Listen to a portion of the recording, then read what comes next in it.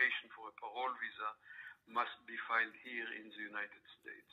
So the mother can do this application for them.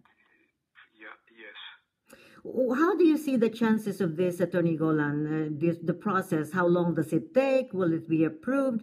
And, and what are the complications of this? Because there will probably be a lot of documentation involved.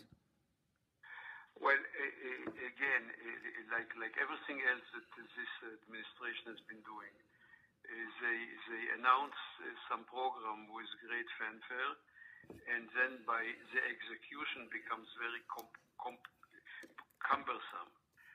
Okay, eh, because the the the, the, applicant for a parole visa will need to show that the, this widow in the United States really needs the help of the of the applicant who is in the Philippines, Oh. and and and then and then they'll need to, uh, and then if immigration approves it, there will be a second interview at the American Embassy in Manila, Hmm.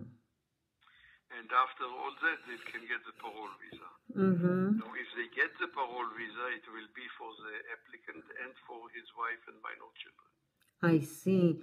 So it, it is interesting how, you know, during election time, politicians always talked about like, you know, being able to come up with a good comprehensive immigration program. And then the latter years they will come up as you said with some good announcement. It's almost no time to be able to to do all this. And then there's a new administration. However uh, they're very hopeful back in the philippines. And uh, they're trying to do whatever they can because they've been waiting for a long time.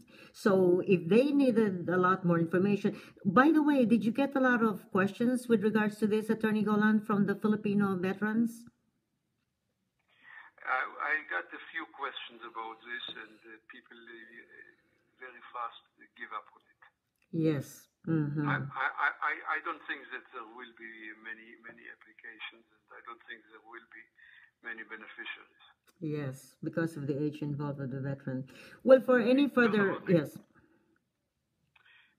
First of all, because of the age of the yes, people uh, uh, who should benefit from it, and secondly, the, the, the program, the, the procedure is so cumbersome that it will be a very difficult business. right.